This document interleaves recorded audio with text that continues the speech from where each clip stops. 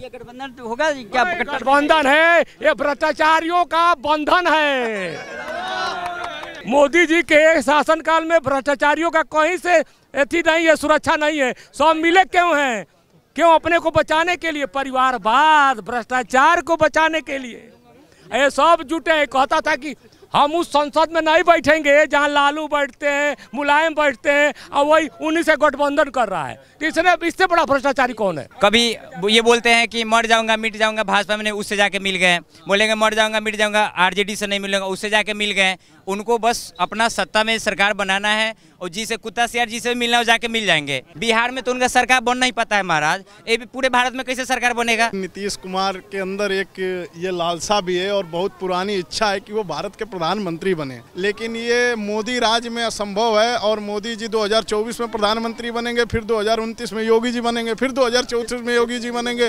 तो अब 15 साल तो ऐसा ही टाइम नहीं है, कहाँ बन पाएँगे? मोदी जैसा नेता ना आज तक हुआ, ना आगे होगा। समझ गए ना? ये तो कहा कि लड़के का कसम खाते हैं। कांग्रेस से समर्थन नहीं लेंगे, आवास नहीं लेंगे, सुरक्षा नहीं लेंगे शीश महल बनवाया है। ये ये देखिए पूरे देश में इसका झूठ उजागर हो गया। एक नंबर का ये भ्रष्टाचारी है ये भी जेल जाएगा। अच्छा। हाँ मोदी जी रहेंगे सब जाएँगे। वो तो कह रहे हैं कि हम प्रधानमंत्री भ्रष्टाचारियों का ना गठबंधन है सब जाएँगे। तो कह रहे हैं कि अभी जाए अभी करेंगे अभी जाएँगे। मोदी जी के शासनकाल में भ्रष्टाचारियों का कहीं से अथी नहीं है सुरक्षा नहीं है सब मिले क्यों हैं? क्यों अपने को बचाने के लिए? परिवारवाद, भ्रष्टाचार को बचाने के लिए। ये सब जुटे कहता था कि हम उस संसद में नहीं बैठेंगे जहाँ लालू बैठते हैं, मुलायम बैठते हैं, और वही उन्हीं से गठबंधन कर रहा है। तो इसने इससे बड़ा भ्रष्टाचारी कौन है? नीतीश कुमार कह रहे हैं। हम केजरीवाल को कह रहे हैं। कहता था कि मैं कांग्रेस से समर्थन नहीं लिए। एक महीना के बाद समर्थन ले लिया। कहा कि मैं कोई आवास नहीं लूँगा। आशीष महल में अब रह रहा है। कहा कि हम सुरक्षा नहीं लेंगे गाड़ी सब लिया ना। तो यही तो नेताओं का चरित्र है। सबसे बढ़िया मोदी जी है। तो कहते मोदी जी अनपढ़ हैं। अरे तो वो मोदी जी के सामने एक शब्द बोल पाएगा मोदी जी विवेकानंद का अंश है उनके अंदर। अच्छा, ये गठबंधन तो होगा क्या गठबंधन है ये भ्रष्टाचारियों का बंधन है। आपको क्या लगता है? किस चीज़ के बारे में? क्या सफल होगा ये? दो हज़ार दो हज़ार चौबीस में अभी। आपका क्या कहना है?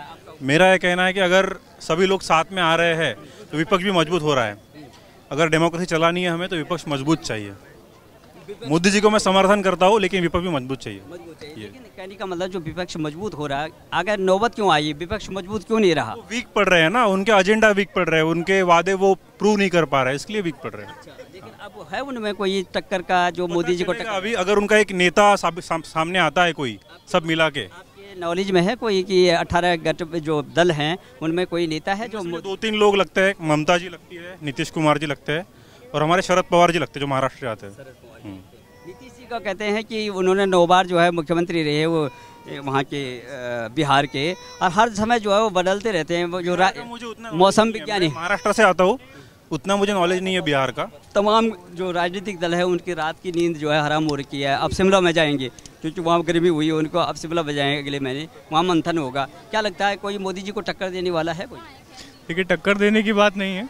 अगर वास्तविकता में आप में बल है तो आपको पहली बात तो गठबंधन की ज़रूरत नहीं होती है।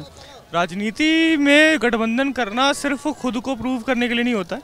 अगर आपके मन में कोई भावना है कि हाँ आप सही कर सकते हैं उसके लिए आप गठबंधन कर रहे हैं तो ठीक है। लेकिन सिर्फ़ खुद को प्रूव करने के लिए या हम इकट्ठे हो जाएँगे और किसी एक को गिराएँगे। इसलिए आप गठबंधन कर रहे हैं तो आप देश के लिए काम नहीं अपने लिए काम कर रहे हैं। तो गठबंधन वास्तविकता में देश के लिए होना चाहिए अपने लिए नहीं होना चाहिए। व्यक्ति विशेष की चीज़ नहीं है देश व्यक्ति विशेष नहीं है। एक कॉमन मिनिमम प्रोग्राम पे काम होना चाहिए। सभी जो दल साथ में आ रहे हैं सबका एजेंडा अलग अलग है सबके एजेंडा ठीक है एजेंडा अलग होता है लेकिन किसी एजेंडे पे जब पब्लिक के एजेंडा होता है पब्लिक जन सरोकार सुनिए जन सरोकारों की जो बात होती है तब इनमें जो है आपसी मतभेद हो जाते हैं उसमें एक नहीं हो पाते। लेकिन मोदी जी को भार करना है सब एक हो रहे हैं आखिर कारण क्या है? सबकी दुकान बंद हो रही है ना तो अल्टीमेट वही है। बराबर। यस अपोजिशन कैसा होना चाहिए कि जो जनता की जो आवाज़ उठाए तो अब ये लोग जो है जनता की आवाज़ ना उठा करके उसको बाहर करने की बात कर रहे हैं मोदी जी को। और अनपढ़ बात कर रहे हैं इनके पास एजुकेशन नहीं है इन्होंने पूरा देश बेच दिया है वो विदेश पॉलिसी ठीक नहीं है हमारा जो है पूरा जनता समझदार है। जिस मुद्दों पे लड़ा जाना चाहिए उस मुद्दों पे बात होगी तो ही वोट मिलेगा। ये सब फालतू की बातें हैं। मतलब ये सब चुनाव के टाइम पे मुद्दे निकालते हैं। एक प्रॉपर कॉमन मिनिमम प्रोग्राम बना के अगर ये विपक्ष दल एक होते हैं उस पर अगर वो टिके रहते हैं अड़े रहते हैं तो उनका एक नेता तो सामने लाए पहले वो। उनमें डिसाइड तो कर ले पहले नेता कौन है? उसके बाद लोग डिसाइड करेंगे ना। राहुल गांधी की बात कर रहे थे तो लालू जी कह रहे हैं कि पहले तुम शादी कर लो। तो शादी क्या मतलब? बोल रहा हूँ। मैं वही बोल रहा हूँ कि अभी अभी आज की डेट तक विकल्प नहीं है लोगों के पास। बताइए जो एक बात बताइए अब राहुल जी का वृद्धा पेंशन लगवाने का टाइम हो रहा है इस महाराज इस उम्र में मौड़ी कौन चढ़ाएगा बताइए महाराज तो? वृद्धा पेंशन के टाइम में मौड़ी कौन चढ़वाएगा? अब ये भाई साहब बोल के गए हैं कि ये मुख्यमंत्री कैंडिडेट है ममता बनर्जी ये नीतीश चाचा हैं बिहार के। तो नीतीश चाचा कैसे मुख्यमंत्री कैंडिडेट है? भाई किस प्रधानमंत्री कैंडिडेट किस एंगल से प्रधानमंत्री कैंडिडेट है? वही तो इतना महाराज ये बताइए। इनका कभी ये बोलते हैं कि मर जाऊँगा, मिट जाऊँगा, भाजपा में उससे जाके मिल गए। बोलेंगे, मर जाऊँगा, मिट जाऊँगा आरजेडी से नहीं मिलूँगा, उससे जाके मिल गए। उनको बस अपना सत्ता में सरकार बनाना है और जिसे कुत्ता, सियार जिसे मिलना हो जाके मिल जाएँगे। मतलब ऐसा क्यों नहीं होता है कि हाँ मोदी जी हैं, सब लोग क्यों इकट्ठा हो रहे हैं? ऐसा कोई नहीं होता है कि कोई एक आदमी खड़ा हो जाए पूरा इंडिया पूरा भारत में और बोले कि नहीं, हम मोदी से अच्छा काम करेंगे। सब लोग एक साथ क्यों आ रहे हैं भाई? कोई एक आदमी निकले वहाँ से, जैसे नीतीश चाचा है, उनमें अगर उतना पावर है तो अकेले पूरा, उनका जनता दल यू है ना, वो पूरे भारत में अकेले अपना डंका पीट दे कि नीति, मोदी जी से अच्छा काम हम करेंगे। मोदी जी से अच्छा काम। क्या ज़रूरत है अभी सब लोगों से मिलने की? क्या ज़रूरत है आपको सब लोगों से गठबंधन लेने की जी? कि आप आ जाइए मेरे पास, आप आ जाइए मेरे पास। जब इतना आपके पास पावर है, तब अकेले लड़िए महाराज। इतना आपके पास पावर है, सत्ता है तो अकेले लड़िए। क्यों दूसरे, तू क्यों चार लोग के साथ मिलके? बिहार में तो उनका सरकार बन नहीं पता है महाराज। ये भी पूरे भारत में कैसे सरकार बनेगा? अपना मॉडल दिया है, गुजरात का मॉडल दिया था, देश की देश में प्रधानमंत्री बने। तो क्यों नहीं जो है बिहार के लोगों ने क्यों नहीं मॉडल दिया, चाहे वो लालू प्रसाद यादव हो, चाहे वो बिहार में देखिए, बिहार में कुछ नहीं है, बिहार में सबसे बड़ा है जातिवाद, बस। ई जाति के हैं, ई जाति के लोग वोट मांगने आ गया दुनिया पलट जाए, हम उसी जाति को वोट देंगे। उससे को मतलब नहीं है, मेरे जात का आदमी है, वो कुछ भी कर रहा है उससे कोई मतलब नहीं है। वो कुछ भी करके चला जाए हाँ ठीक है, जाने दो। दारू, पैसा, बस, इसी पे बिक जाना है, इसी पे है। बिहारियों का इसलिए विकास भी नहीं होता है। हम खुद बिहार से है। हमारे अभी नेता लोगों का, सब लोग का यही कंडीशन है। वो आएँगे, बोल देंगे कि हम आपके जात के हमको वोट दीजिए। उससे ज़्यादा कुछ नहीं चाहिए उनको। बस अब आके जाति का नाम ले लिए कि हम इस जात के यहाँ ये कर दीजिए। और नीतीश चाचा को भी उससे मतलब नहीं है। वो क्या करते हैं कि जब समय होता है तो बीजेपी में जाके मिल जाएँगे और जब देखेंगे कि मौका मिल रहा है, जब अपना ये नहीं होने वाला है तो जाके आर क्या क्या बोले थे कि कुछ भी हो जाए आरजेडी से नहीं मिलेंगे। भाई क्यों जाके मिले अब क्या ज़रूरत है? जब आपके पास इतना पावर है तो आप अकेले मिल सरकार बनाइए ना। तो आपका जब वहाँ सरकार नहीं बने तो पूरे भारत में कैसे सरकार बनेगा? हम किस उम्मीद से कह सकते हैं कि नीतीश चाचा सरकार बनाएँगे? हमारा सरकार बनाने से पहले बिहार में लोगों को रोज़गार दीजिए, फैक्ट्री बैठाइए। इतना साल हो गया, आप एक अच्छा सा फैक्ट्री नहीं बैठा सके। कोई भी काम वहाँ पे, मेट्रो बन रहा है पटना में, देख लीजिए कितना डिले पे, दो हज़ार तेईस उसका डेडलाइन था। तेईस डेडलाइन था सत्ताईस अट्ठाईस हो रहा है उसका। वहाँ पे इतने करोड़ों रुपए के पुल ढहरे हैं? क्या भ्रष्टाचार हाँ? बताइए नीतीश कुमार कहते हैं गरीब राज है सत्रह करोड़ का पुल सत्रह से साढ़े सत्रह करोड़ का पुल सत्रह सेकेंड में ढहा जाता है। बताइए। तो सत्रह सौ करोड़ वही ना? और ये आपको पता होगा कि ये जो हमारे एक पत्रकार थे मनीष कश्यप हाँ। उन्होंने बताया था वो पुल गिरने से लगभग कुछ दिन पहले हाँ एक साल पहले वो जा था। वहाँ पे बोले थे कि ये पुल ज़्यादा दिन तक चलेगा नहीं।